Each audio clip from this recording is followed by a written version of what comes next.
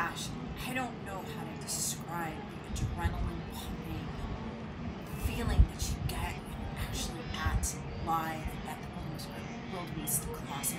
It's like there's something in the air, the energy in the air, the anxiety, the excitement, the it, it, it's impossible to live it through watching this video and, and unless you're there and you feel the air and you taste the energy and oh my god, it is it is one of the most exciting things in nature that can be witnessed. So this is actually crossing over the Mara River from Masai Mara National Reserve to the Mara Triangle. And it was at Lookout Point. And thanks to my driver, Henry Milani, who actually took the film while I was taking pictures. And the migration is, is, is amazing. There's huge herds. And when you're driving through and you see these huge herds of thousands and hundreds of thousands of animals, and their their sounds and their talking and their communication, and it, it's just amazing. It's referred to by so many people as the eighth wonder of the world, and having lived it multiple times, I I, I definitely understand why. And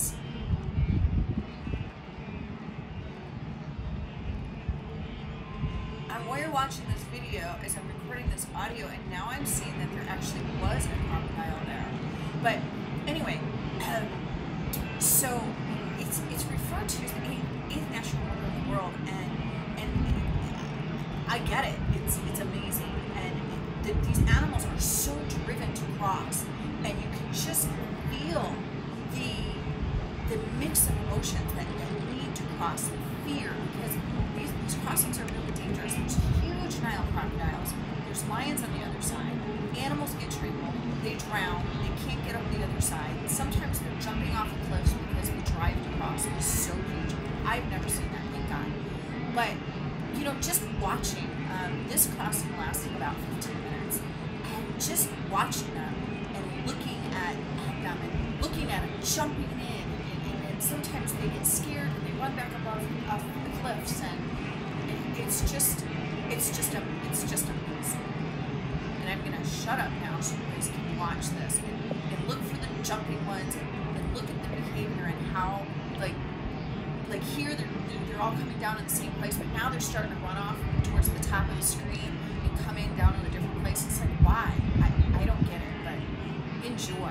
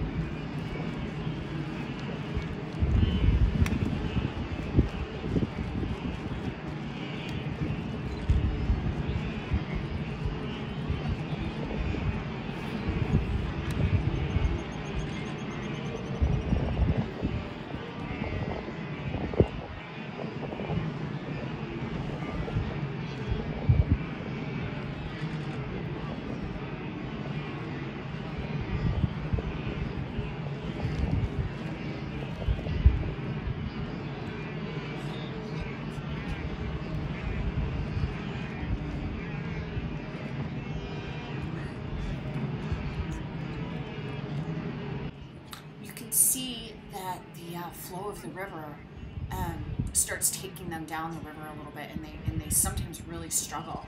In this case, we didn't see anybody drown, which was which was really a, a, such a relief to me. Again, you know, your heart's pumping, you're you're praying that they're all safe and that they make it, and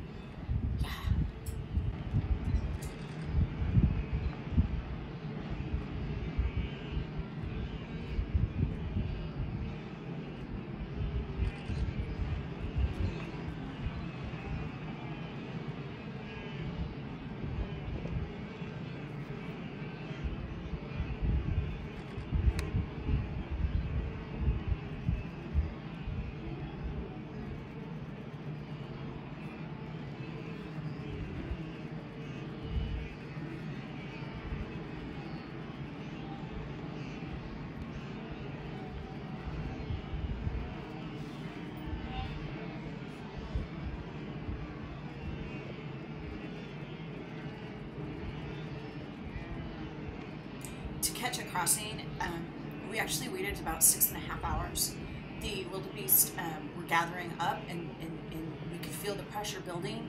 Um, but again, it's so it's so scary. So we, we waited in the sun and the heat um, for six and a half hours. We did make a quick dash back to the lodge uh, to get something to, to throw over the, the roof hatch so we'd have a little shade and to grab a really quick bite of lunch. And we raced back, and it, it was a risk, but it, it was worth it. And um, we didn't miss the crossing. But a lot of times you know you see these videos and, and, you don't realize how long people are sitting and waiting. Sometimes you get lucky but um, sometimes you can wait all day in the heat and the sun and they don't cross. Um, so it's it's really just the luck.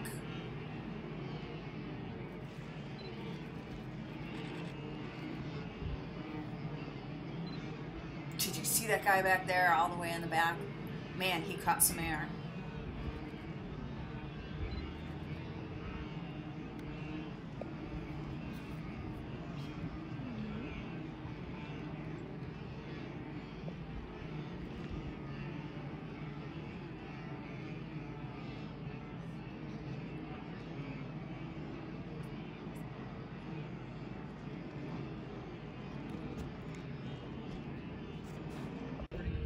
This crossing lasted over 15 minutes. The video started several minutes into the crossing already, and the video ends before the crossing is finished.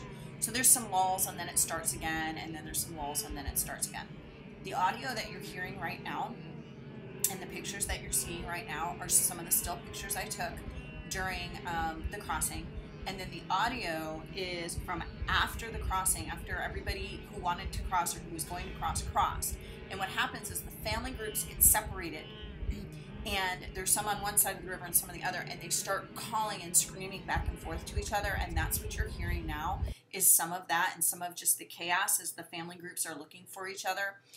Um, a few of the wildebeest did cross back um, trying to hook up with their family members um, but it's it is heartbreaking uh, to hear it. I I didn't record all of it, um, but just a little bit more of a taste of what it's like to be at a crossing.